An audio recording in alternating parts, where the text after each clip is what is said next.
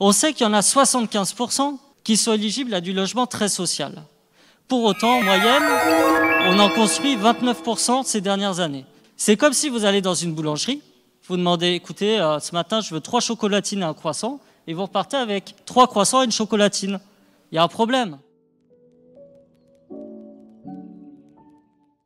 C'est que en quatre ans, on a une augmentation de la demande de logement social de 40%.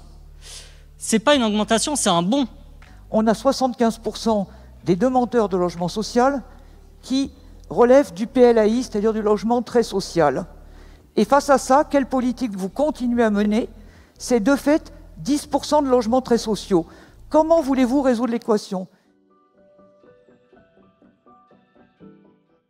L'Agdar, qui est logé dans un, appartement au septième étage, Oui, ça va. c'est sans bon, ascenseur. C'est bon, c'est bon. Ben pourquoi, madame, vous voulez pas entendre la Euh, réalité Ça va.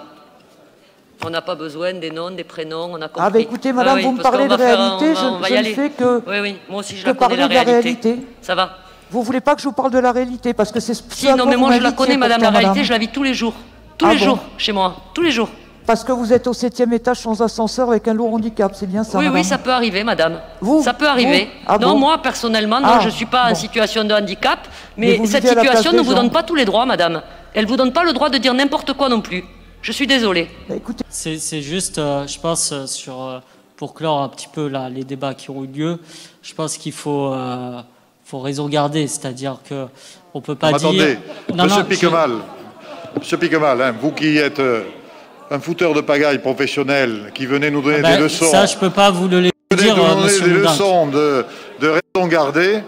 Écoutez, euh, Est-ce que votre, est-ce que votre intervention donc, porte vous- sur la cinquième me- Là, vous délibération êtes en train de me traiter de fouteur de pagaille professionnel. C'est Est-ce bien ça votre- que vous avez dit. Est-ce que votre prise de Bah, parole, pas, je vais vous dire, ces propos-là, ils sont pas à la hauteur de, de votre parole fonction. porte sur la cinquième Je vous le dis délibération clairement. Parce que Oui ce que j'allais dire, ce que j'allais dire. porte sur la Non, mais c'est cinquième pas parce que vous délibération parlez dans le micro en même temps.